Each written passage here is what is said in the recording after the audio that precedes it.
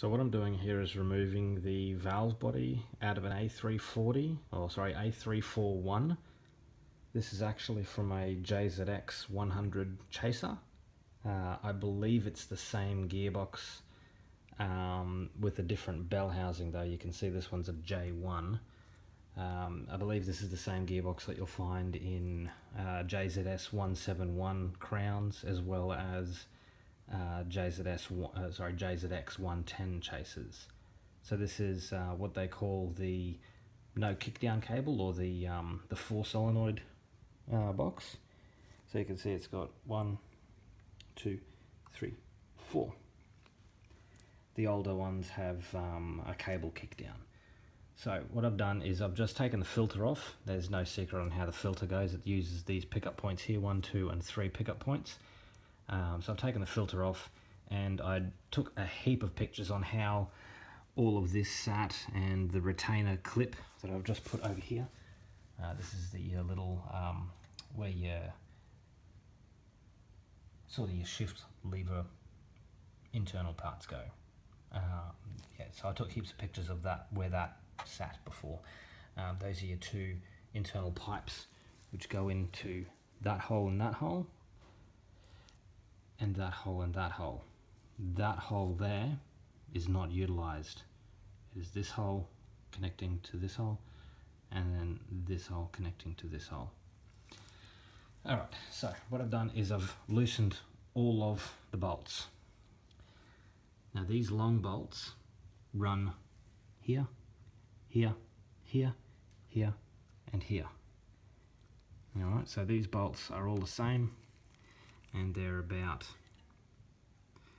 say 35 mil underhead length.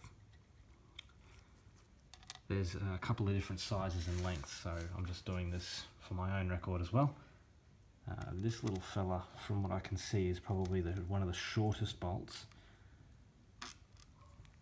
Alright so he is he is about 22 mil underhead length. Alright, so I'll put them in a clean container. This, these guys, there seems to be a lot of these ones. This one's about 27 under head length. Kind of try and get it out of the out of the light there. So 27, so it came out of that hole there.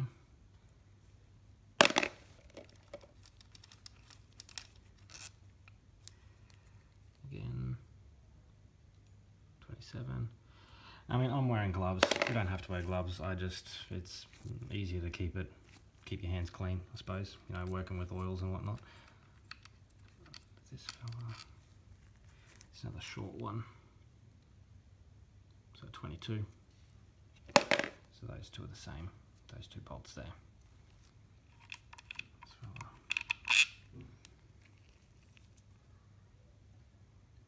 27 so same as those two there. This one, no doubt this one's probably going to be the same as well. Yep.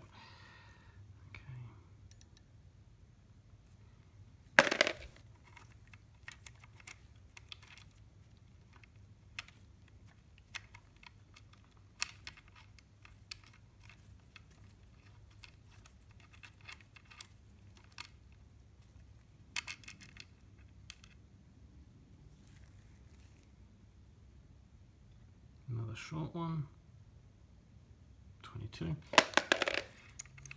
Oh, this one's got a retainer clip on it. Oh, it's not really a retainer clip, it was just where the wiring sat before. Again, I just took pictures of where everything ran before. These cables, um, they only went to one place, so don't be too shy. Um, just, you know, just get into it. There's only one place where they can go. The loom sort of dictates its own shape. Another 27. Sorry, I might have missed that one a little bit on camera.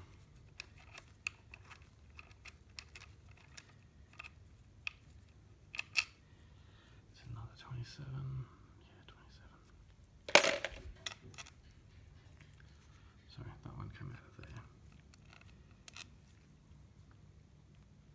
another 27.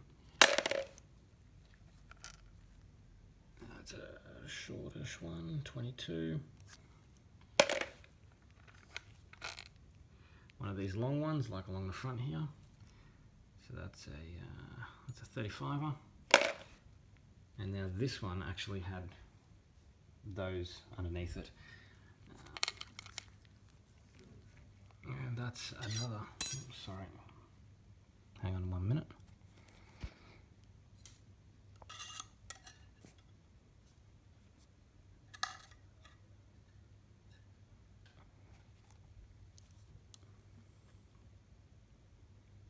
That's only a 15. I don't actually think it retained anything that went down into the bottom. So that probably could have stayed on. But never mind I took taken it off because that's probably going to get damaged in transit anyway. It's only you know thin sort of steel.